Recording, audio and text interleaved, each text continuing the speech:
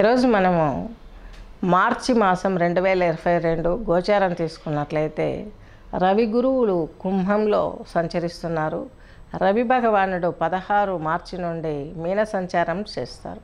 ఇకపోతే కేతు వచ్చేసి వృచ్చిక రాశి రాహు భగవానుడు వచ్చేసి వృషభ రాశి శని భగవంతుడు శుక్రుడు బుధుడు ఇక్కడ మనకు మకర రాశి సంచారం చేస్తారు.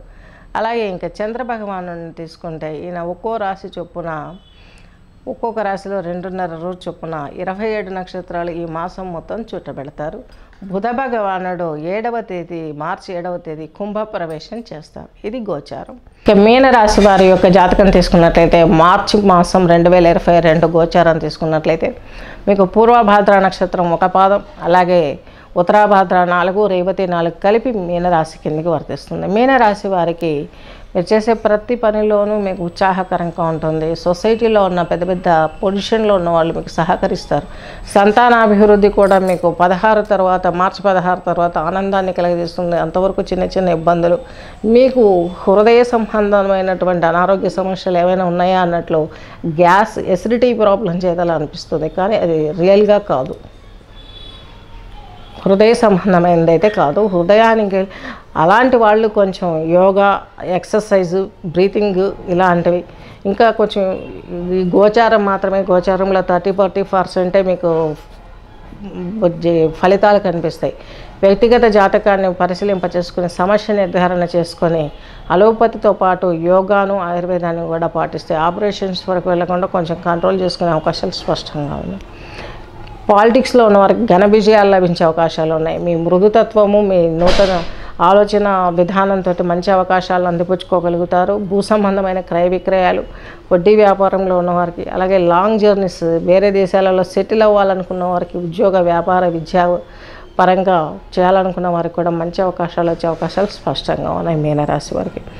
జలవనరులలో పెట్టుబడులు పెట్టుబడులు పెట్టేవాళ్ళు కొంచెం ఆలోచించండి. భూ సంబంధమైన క్రయ విక్రయాలు అలాగే మీకు ఏడు తర్వాత కొంచెం ఇబ్బంది పడే అవకాశాలు ఉన్నాయి.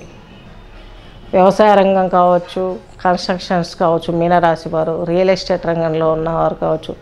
దీనికి సంబంధించి మీరు విష్ణు సహస్రనామం పారాయణ చేయటం మూలంగా విష్ణువుకు తులసి దళం పెట్టి విష్ణు సహస్రనామం పెట్టడం మూలంగా ఈ జాప్యం తొలగిపోతుంది. ఏడు వరకు బాగుంటుంది. ఏడు నుంచి మాసాంతం వరకు కొంచెం ఇందులో కొంచెం ఇబ్బందులు ఉన్నాయి. మీ జీవిత భాగస్వామికి కొంచెం హెల్త్ ఇష్యూస్ రైజ్ అవ్వడం ఇలాంటి విషయాలు కొంచెం ఇబ్బంది పెడతాయి. వాళ్ళ మీద మీరు కొంచెం కేర్గా ఉండండి. సొసైటీలో ఎవరైనా ఎల్డర్స్ నూతనంగా అనిపించవచ్చు వాళ్ళ సలహాలు మీకు కానీ అవి వర్కౌట్ అవుతాయి. ఆలోచించి చూడండి. బాగా పనిచేస్తాయి. మీకు రుచించకపోవచ్చు. కొంచెం పట్టించుకోరు.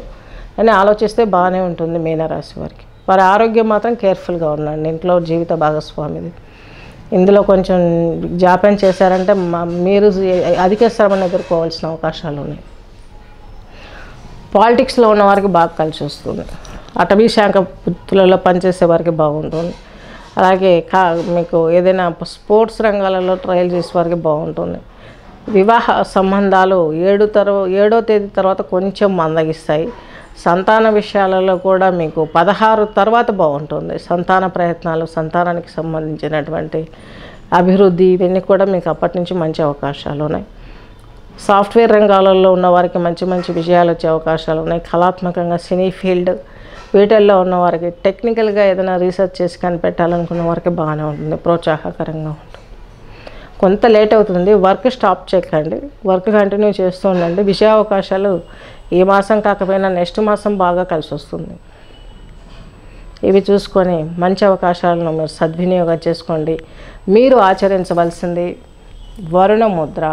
ఈ చిటికిన వేలు బొటన వేలుతో నొక్కిపెట్టి చక్కగాను ఓం శ్రీ తిరుమనాక్పల్లి ఈశ్వరాయ మహాన ఐదు నిమిషాల శ్వాస శ్వాస మీద ధ్యాస పెట్టండి.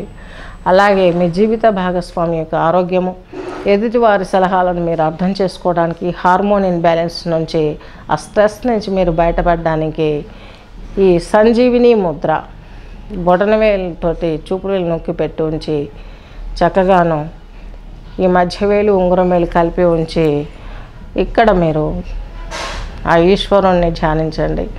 లేదా వెంకటేశ్వర స్వామిని దర్శించండి. లేదా దత్తాత్రేయ స్వామిని ధ్యానిస్తే ఇంకా మంచిది. త్రిమూర్తి స్వరూపం. ఐదు నిమిషాలు ధ్యానించి మీకున్నటువంటి ప్రతి సమస్యను పరిష్కరించుకోవటానికి ప్రయత్నం చేయండి. అలోపతి వాడుతూ ట్రెడిషనల్ ట్రీట్మెంట్ రండి. యోగ సాధన చేయండి. ఫిజికల్ ఎక్సర్సైజ్ యోగం ఒక్కటే ఎందుకు చెప్తున్నామంటే స్పైన్తో కలిసి ఉన్న ఎక్సర్సైజ్ ఏదన్నా ఉంది సృష్టిలో అంటే అది ఒక యోగమే. మిగతా యాక్టివిటీస్కు స్పైన్తో ప్రాబ్లం సమస్యలు అవకాశాలు తక్కువ. ఇది మొత్తం మీకు స్పైన్ పైన డిపెండెంట్ ఉంది బ్రీతింగ్ అయినా ఫిజికల్ ఎక్సర్సైజ్ అయినా మెడిటేషన్ అయినా అన్ని స్పైన్తోనే రిలేటెడ్ ఉంటుంది. మన జీవితమే పుట్టుకనే స్పైన్ నుంచే మొత్తం ఆర్గాన్స్ ఏర్పడ్డాయి. కణమే కణం నుండే మనకు స్పైన్ స్టార్ట్ అయింది. అక్కడి నుంచే బాడీస్ ఇదైంది అందుకని మన కర్మక్షయానికి ఆరోగ్యానికి మానసిక ఆనందానికి అన్నిటికీ ఇదే కారణం. ఇకపోతే గురువారం రోజు మీకు రాహుకాలం అనేది చక్కగా ఒకటిన్నర నుంచి మూడు గంటల వరకు ఉంటుంది. ఉదయం చేసిన దీపారాధన ఈ సమయం వరకు కొండెక్కకుండా చూసుకోండి. వ్యక్తిగత జాతకాన్ని పరిశీలింప చేసుకొని శుభ పరిస్థితులను మీ వైపు మలుచుకోండి. శుభం.